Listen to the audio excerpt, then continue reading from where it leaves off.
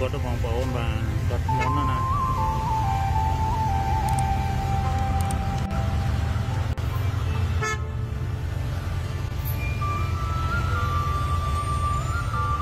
អាណិតគាត់ទៅបងប្អូនគាត់ធ្ងន់គាត់ណាគាត់រែកអត់ចង់អត់រួចទេបងប្អូន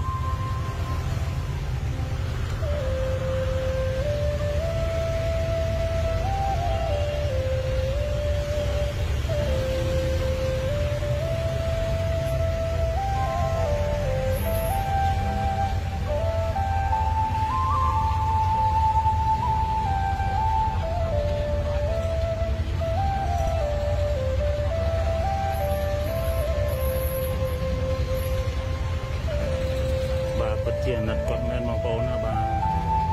ឲ្យគេឲ្យយើងបាទបងគេបងយើងបងប្អូនធ្ងន់ណាស់អំបោះគាត់គាត់រែកឲ្យរួចទេ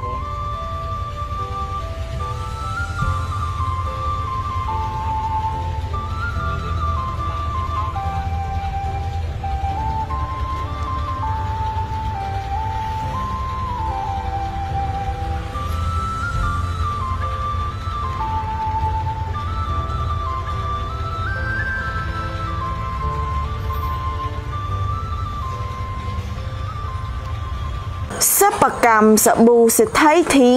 មានផលិតសាប៊ូបោកក្អៅសាប៊ូលាងចានសាប៊ូជូតអិតដោះបង្គន់សាប៊ូបោកក្អៅម្សៅ និងទឹកក្រអូប ដែលមានគុណភាពល្អនិងតម្លៃសមរម្យគាំទ្រផលិតផលខ្មែរជួយឲ្យប្រជាពលរដ្ឋមានការងារធ្វើ Facebook Page កូនខ្មែរសាប៊ូខ្មែរ